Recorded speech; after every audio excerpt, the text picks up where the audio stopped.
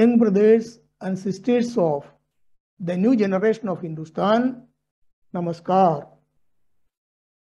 In today's episode of our exploration of the true history of Hindustan, let us have a look on the difference between the culture of Hindustan and the culture of the rest of the world. When we talk about culture, we can define it as the attitude and behavior of a certain population or a society evolved, developed, grown up, updated, refined, and fine tuned results of the wisdom, knowledge, and intelligence of that particular population or that particular society of a particular geographic region. So, in this way, we have an approximate idea which is almost complete about what is meant by culture. And as at present, when we mention about culture, mainly two cultures are taken into consideration. That is the Western culture and the Eastern culture. The Western culture is the European culture, which was later exported to all those continents invaded and possessed by the Europeans. And as far as the Eastern culture is concerned, the culture of Hindustan is considered as the representative of the Eastern culture. In addition to this, when we talk about culture, there are also cultures related to the religions, such as Islamic culture as well as Christian culture. And the Christian culture is almost completely dissolved in the European culture. So these are some basic ideas regarding the culture of various populations.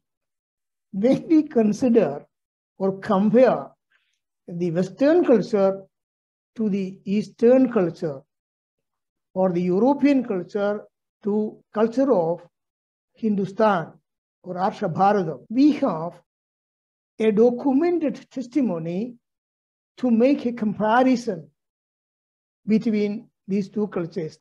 It is taken from the Bible itself, so it is authentic. It is clearly written in the Bible that when Jesus Christ was born, three kings from the east came to visit Jesus Christ. Based on their extraordinary knowledge and experience in astrology and astronomy, those kings could identify a particular star which announced the birth of an extraordinary personality in the world. And based on their calculations, they also identified more or less the place where this extraordinary child could be born.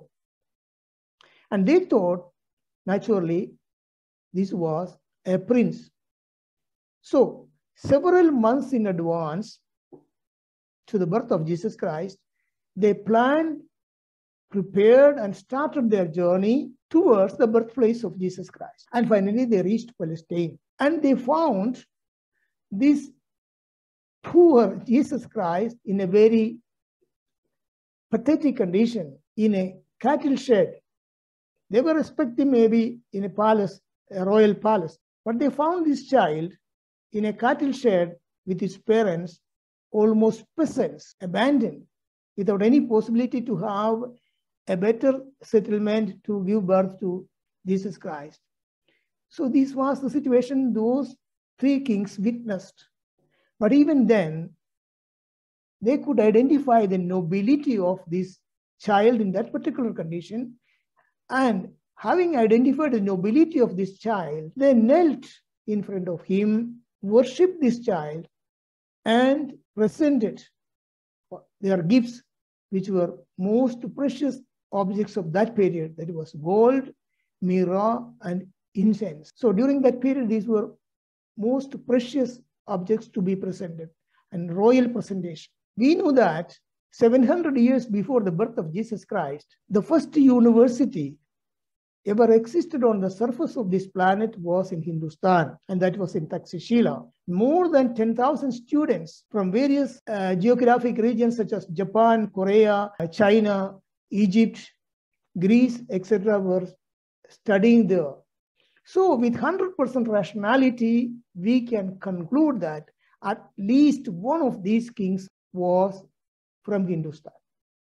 Considering their behavior, their ability, their knowledge, their wisdom, and their approach, we can confirm that was a typical example for the Eastern culture.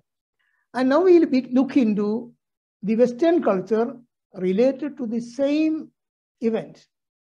That is, when King Herod, who was the representative of the Roman emperor, when he heard about the birth of an extraordinary personality in Palestine, he ordered to cut the throats of all the male children below two years of age to annihilate them. That is an excellent example for the Western culture, which still prevails. We have another example from the history to compare the Western culture to the culture of Hindustan.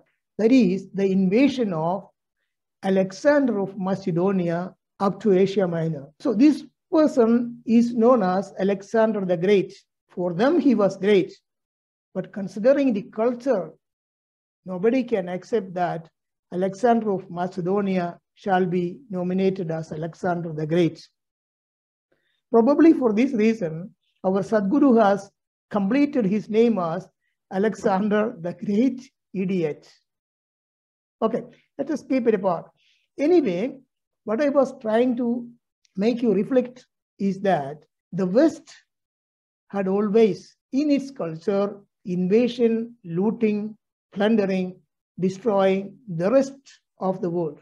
At the same time, that is during the period of the invasion of Alexander up to Hindustan, Chandragupta Maurya was the emperor of the Maurya Empire, and Chanakya was his advisor also. And the Maurya Empire was in the maximum of its splendor and glory at that period. So, Chandragupta Maurya was many times more powerful, more efficient, and more rich compared to the Alexander of Greece. Suppose if he had the idea as that of a person of the Western culture, Chandragupta Maurya could have invaded the whole world and kept under his possession, under his feet. But he didn't do that. Why? Because the culture was consolidated on the fact or the principle that the whole world is a single family. Vasudhaiva Kudumbakam. So you won't go and attack another member of the same family. Again, the culture of Hindustan was also based on another fundamental that Loka Samasta Sukhino Bhavantu. So these were the two reasons why no king, very efficient, powerful kings like Rajaraja Chola, Chandragupta Maurya, Vikramaditya, so none of them had the intention to go and take away something of another, another member of the family.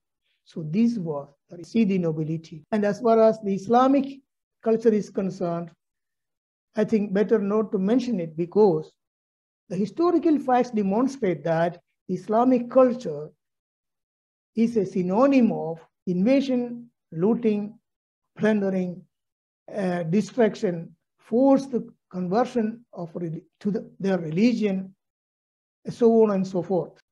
The knowledge, experience, and wisdom of Hindustan and its culture in every field, such as economic, social, scientific, technical, spiritual, and all related fields are also documented by thousands of acharyas in thousands of books and during thousands of years. A vast majority of such documentation was totally destroyed during the invasions intentionally destroyed by the invaders. Let us have a look on the memories or some of the examples of such documentation. These are examples of the Vedic text written since 6000 BC. Vedic doesn't mean only spiritual, but all fields of possible and imaginable activities of human race, such as technical, scientific, economic, spiritual, everything is included in our Vedas. These are examples of single pages of these vast documentations with very beautiful and attractive cover pages also. See how much care was paid, how much work was done to prepare documentation in this way. When the Islamic force invaded and destroyed the University of Takshashila, they lit fire to the library of that university. And it remained burning for almost three months, as it is recorded in the history. So we can imagine the enormous quantity of documents like this burned out during that episode. Now we already have an exhaustive outlook and comparison of the culture of Hindustan to that of the rest of the world. Similar documentation was not available in any part of the world in that period and what all developments in all fields happened in Europe, they happened only during and after the Renaissance period. So compare the time span also related to the culture of Hindustan and the culture of the West. We can frankly affirm that when the British or when the Europeans were totally naked, running after the wild pigs to hunt them. Hindustan was far advanced. So this fact we shall not forget. This also is an example or a proof of the vastness, the richness, and the nobility of the culture of Hindustan. And if you find or if you feel that these are important information that a son or a daughter of Hindustan should understand, please share it with your friends and relatives. And also try to subscribe this channel so that you won't lose any of the episodes which I will be posting because this is a series of episodes I would like to conduct. So thank you very much for your kind attention. Jai Hind.